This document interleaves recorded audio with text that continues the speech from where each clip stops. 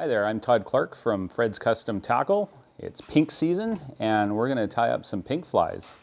Uh, flies are probably one of the most effective methods for catching uh, pink salmon, uh, whether it's on the Fraser, the Squamish, the Vedder Chilliwack, pretty much any river that in, uh, the pink salmon work their way up. Uh, uh, flies are, are, an incredibly effective method. So we're going to start off with one of my favorites and probably one of the most effective flies in general. it's a Clouser minnow, a deep Clouser minnow. if you were to uh, rate the top five flies in the world, the Clouser minnow would be uh, a number one or number two. They're used all around the world. They uh, reflect a, uh, a, minnow pattern or bait fish. Of course, when pinks are in the system, the last thing they're doing is chasing bait fish, but they can be fairly aggressive. So that's where we're going to go with something that mimics uh, a creature that they might find uh, offensive. So Clouser minnow, fairly easy to, to tie. So we're going to start off with a size 4 uh, Mustad C70 SD big game hook. This is a saltwater hook. Uh, it's a straight eye hook, uh, which is just what you use when you're making a Clouser minnow. So start off by debarbing. Of course, all BC rivers uh, are single barbless hook, so we'll start off by debarbing our hook. I like to take a pack of hooks and debarb them all at once and save myself the hassle. Now I'm doing this on a rotary vise, uh, which is almost a must for tying uh, flies in my opinion. Uh, and uh, you'll see in a reason why. So first thing we're gonna do is put a, put a small layer of, uh, of thread on here. I'm using Wapsi's UTC uh, 140 in a fluorescent cerise. Um, it doesn't matter what color you use, but I want this to be nice and pinky. So we're just going to bring the thread back to roughly the one-third mark. And then we're to put ourselves barbell eyes here.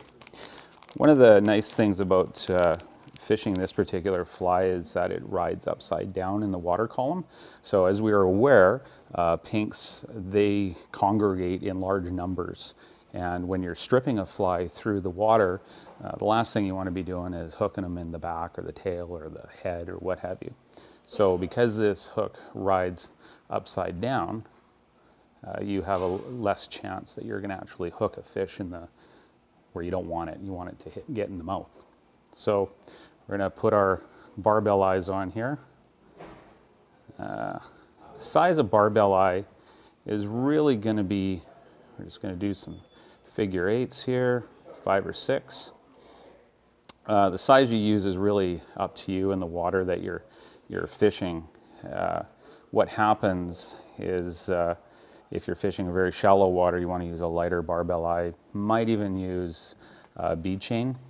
Uh, these can also be tied without any anything on them at all. You can you can uh, uh, tie them as a straight Clouser minnow as opposed to this is what's called a deep Clouser minnow. Next material, now that we've got our our eye on there and we've brought our uh, brought our thread back to the front of the eye of the hook. We're going to put on some uh, bucktail. This is a sparse fly as well. You don't want to tie this uh, with a lot of material. You want to keep it fairly, fairly sparse. So I'm going to tie, I'm just going to trim off a clump here and then I'll, uh, I'll adjust it accordingly. So, so I'm just going to take out some of the bottom hairs from the, uh, I don't know if you can see that there, see how much I got. That's probably too much. I'm gonna probably break that down a bit. I'm gonna throw this into my hair stacker here because I want to keep I want to keep my uh, my hairs you know roughly the same length.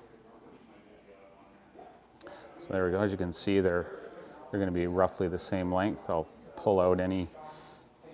Number one rule in fly tying, be ready to throw stuff away. So we're going to trim that down a bit. So as you can see, I don't have a lot of material there. You want this to sit back roughly a hook shank length back from the rear of the fly. So I'm just going to line this up here, and that's about right. And then I like to trim it down first before I apply it so that I don't have to try to clean up the eye of my hook uh, at all. So I'm gonna get this down in front of the eye and then I'm just gonna pull it back a bit because I don't want the eye of the hook being uh, you know covered by by bucktail. So we'll tie that on,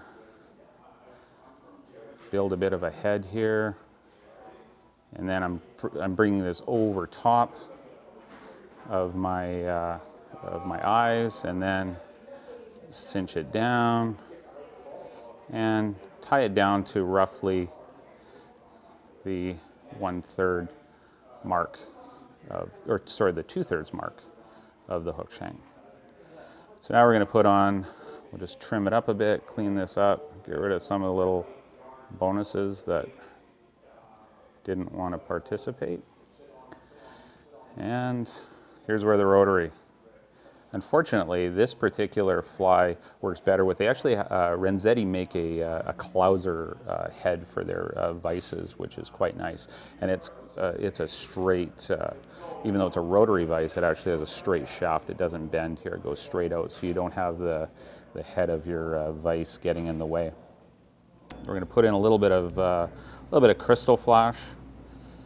Uh, I think a lot of the time the flash is, is for the fishermen, but uh, we like flashy flies. Who wants a dull fly when you go out fishing, right? Okay, so we're going to add a little bit of a uh, little bit of flash to our fly. Again, I'm going to put it on. I can always trim it down after, not a big deal. There we go, we're on. Next step, we're gonna add some pink bucktail. I can use any color here. I could use pink, I could use, uh, I could use pink on the body as well. Use pink, I can use chartreuse, I can use blue, but uh, yeah, they're pink salmon, so we like to use pink, pink materials. generally speaking, uh, pinks like chartreuse or pink, so this one we'll do in, in pink. So back into my hair stacker, Love these things. Not expensive, but be sure you get one that has some weight to it. There's another style of stacker that you can get that uses, uh, it's more like a, like a half moon, and that's another, uh, another nice uh, stacker for lighter applications. So I'm going to pull out my excess that I don't want. There we go.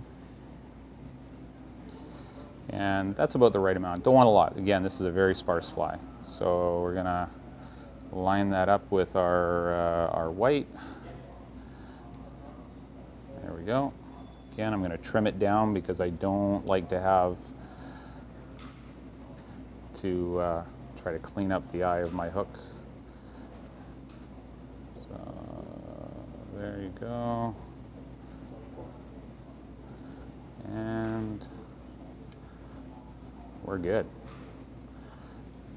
All right, just gonna finish this up here. That's basically the fly. So now we're just gonna whip finish, put a little head cement to firm things up a bit. Yeah, three, four, five wraps on the whip finish is good. So now we're gonna harden up our fly. We're gonna use a little bit of uh, hard as hull uh, cement. Uh, you can also use, if you're into the UV finishes, you can use something like the Loon UV.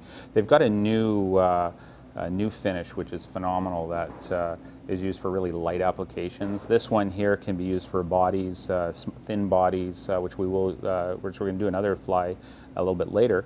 but this one's used for, we can also use for finishing off the heads. So I'm just going to put a little